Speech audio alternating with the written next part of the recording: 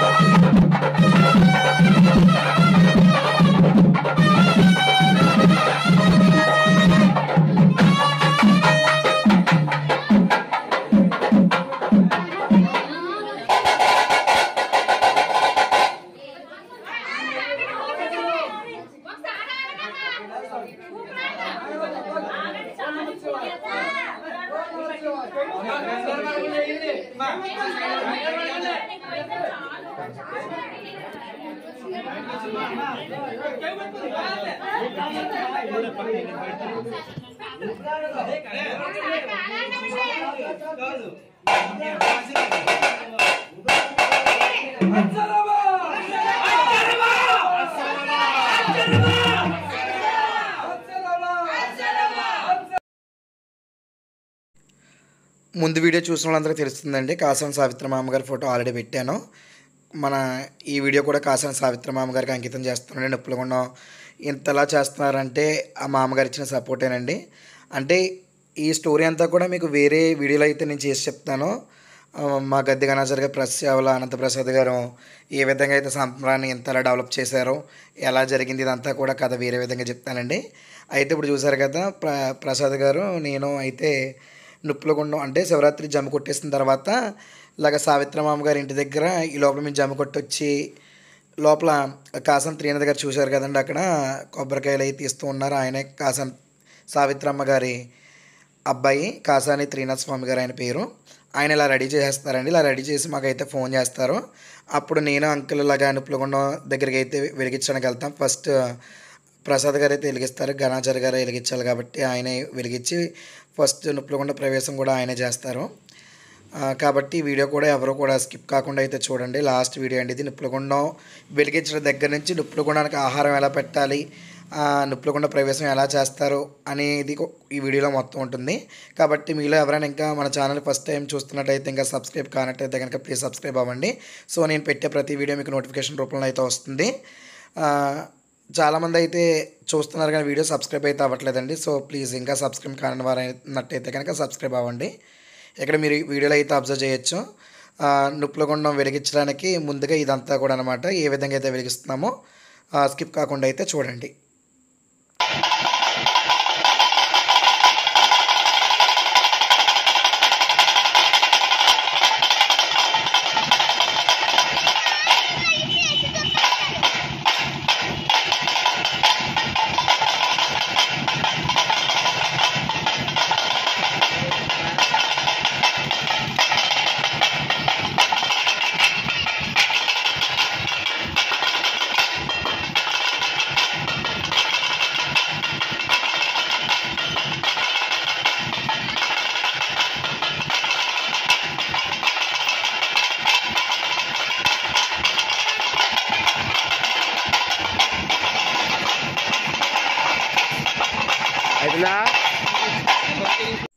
చూసారు కదండి ఈ విధంగా అయితే ఫస్ట్ నేను అంకుల్ లాగా వచ్చి వెలిగిచ్చేసి వెళ్ళిపోతాము. ఆ వెలిగించేసిన తర్వాత మళ్ళీ వీరన్ బాబులు కనబడే వాళ్ళు ఇంకా నిప్పులకుండా ఎవరైతే తొక్కాలనుకుంటున్నారో వాళ్ళందరినీ కూడా కాలువ స్నానానికి అయితే తీసుకెళ్ళే వాళ్ళమండి. అయితే శివరాత్రి టైంలోనే కాలువ లేనంత వలన ఏదో ఒక నూతి దగ్గర ఒక ట్యాంకర్ దగ్గర స్నానం చేయించిన తర్వాత మళ్ళీ బాజా భజనీలతో ఇలాగ నిప్పులగుండం తొక్కే చోటకైతే వస్తామండి. ఇలా నిప్పులగుండానికి తొక్కే ముందర చాలా పూజ అయితే కార్యక్రమం అయితే ఉంటుంది. ఇంకా కొంచెం వీడియోలో అయితే కనిపించలేదు. ఇలాగా నుప్పులగుండానికి నాలుగు వైపులా కూడా ఆహారం పెట్టండి. అంటే మనకి నాలుగు దిక్కులు కదండి. ఆ నాలుగు దిక్కుల సూచిక ఆ నలుగురికి కూడా భోజనం పెట్టేటట్టుగా ఈ- విధంగా అయితే విస్తరాకులో అస్థిస్త్రాన్నం అయితే పెడతామండి. కొద్దిగా బియ్యంలో పెసర వేసి అన్నం అయితే వండుతారు. అస్థిస్త్రాన్నం గురించి మీ అందరికీ తెలిసిందే ఉంటుంది. ఇలాగా వీడియోలో చూస్తున్నారు కదండి. గంధం అయితే జిమ్ముతారండి చల్లదనం కోసం. అలాగే నీటితో ఆవు నెయ్యితో తడిపిన గుడ్డ కూడా వేస్తారు. మీరు అందులో చూసారు కదా ఆవు నెయ్యితో తడిపిన బట్ట అయితే వేశారు అందులో. ఈ విధంగా అయితే స్టార్ట్ చేస్తారండి. ఇలా స్టార్ట్ చేసిన తర్వాత ఆ దండకం కూడా చెప్తారు.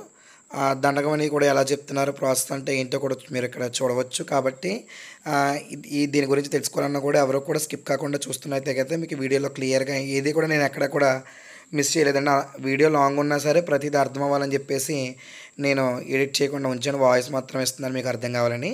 ఇలా నాలుగు వైపులా ఆహారం పెట్టిన తర్వాత మళ్ళీ ఒక ఆకులో విభూతి పూలు ఉంటాయి కదండి ఆ విభూతి పూలకి ఐదు విభూతి పూలు అయితే తీసుకుని ఐదింటి కూడా పసుపు కుంకుమతో పూజ అయితే చేసి కూష్మాండ బలి అంటే తెలుసు కదండి గుమ్మడికాయ అయితే బలిహరణ అయితే ఇస్తాము. ఒక బూడిద గుమ్మడికాయ వచ్చి ఒక మనిషి తలతో సమానం అని చెప్తూ ఉంటారు మన పెద్దలు. దాంట్లో పసుపులో కొద్దిగా సర్ఫ కలిపి కస్తూరి కస్తూరి అని అంటారండి దాన్ని. దాని అయితే వేసి చేస్తారు. మీరు వీడియోలో అబ్జర్వ్ చేస్తున్నట్టయితే కనుక మీకు ప్రతిదీ కనిపిస్తుంది. బూడిద గుమ్మడికాయ మీద సారీ అంటే కూర గుమ్మడికాయ మీద హారతి గొప్పరం అయితే విడిగించి దిష్టి తీయడం కూడా జరుగుతుంది. కాబట్టి మీరు ఎవరు కూడా వీడియో అయితే స్కిప్ చేయకుండా చూడండి. నేను ఇక్కడతో వాయిస్ అయితే వదిలేస్తున్నాను. అంటే వాయిస్ ఓవర్ అయితే ఇంక ఇవ్వట్లేదు. మీకు వీడియో అర్థం కావాలని ఇంకా మీలో ఎవరైనా మన ఛానల్ని సబ్స్క్రైబ్ కానట్టయితే ప్లీజ్ సబ్స్క్రైబ్ అవ్వండి. ఓకేనండి?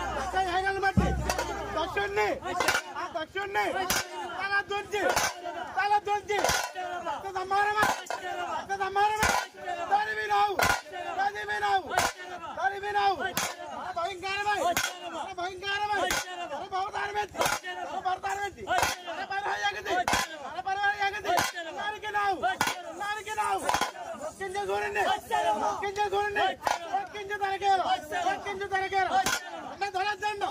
అన్న ధనద్దండు దండమ్ము దండకి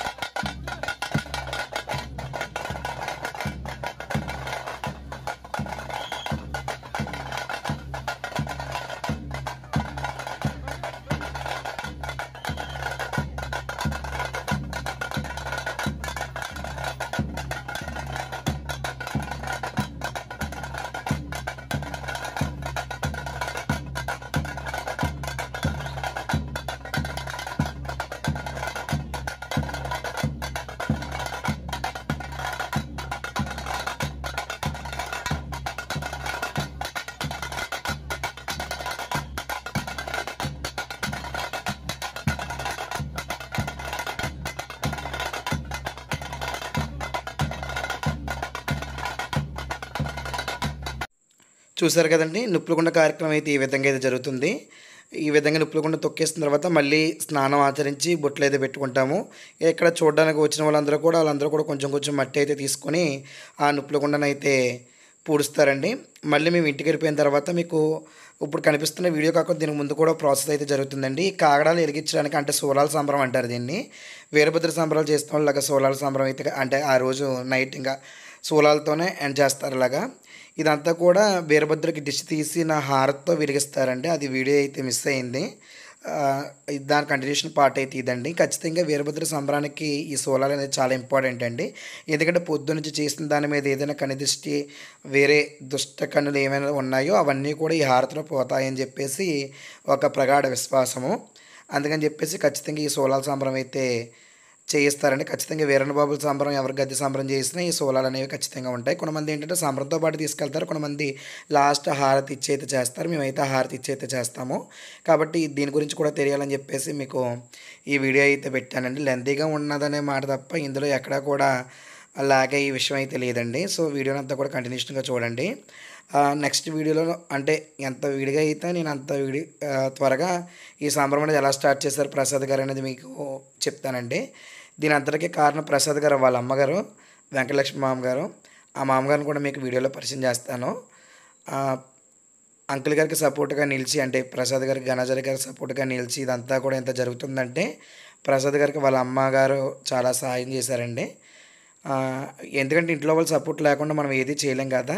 కాబట్టి ఇంత గొప్ప కార్యక్రమానికి ఒక స్తంభం లాంటి తన కూడా అని చెప్పుకోవచ్చు. మీకు తను కూడా చూపిస్తాను నెక్స్ట్ వీడియోలో. ఓకేనండి వెంకటలక్ష్మి గారు ఆవిడ పేరు. మీకు కంపల్సరీగా ఆవిడని పరిచయం చేయాల్సిన అవసరం ఎంతైనా ఉంది. సో ఇదండి విషయం. మహాశివరాత్రి అయితే ఈ విధంగా అయితే జరుగుతుంది. ఈ విధంగా రెండో రోజున మళ్ళీ ఎవరైతే సంబరం కనిపించిన వాళ్ళు ఉన్నారో వాళ్ళందరూ వచ్చి మళ్ళీ కొబ్బరికాయ కొట్టుకొని వాళ్ళ ఉపవాసాన్ని అయితే విరమించుకుంటారు. మళ్ళీ మూడో రోజున లేక ఐదో రోజున నైవేద్యాలు అయితే జరుగుతాయి. నైవేద్యం వీడియో ఉందండి. నేను అది కూడా పోస్ట్ చేస్తాను అంత త్వరగా అయితే. నాకు తెలుసు వీడియో పోస్ట్ చేయడం అయితే లాగ్ అవుతుందండి. కాకపోతే కొన్ని మన పనుల వల్ల లేట్ అవుతుంది. నైవేద్యాల వీడియో దీని తర్వాత వన్ ఆర్ టూ డేస్లో పోస్ట్ చేసిన టూ డేస్కి పెట్టేస్తాను. ఇంకా చాలా వీడియోస్ ఉన్నాయి.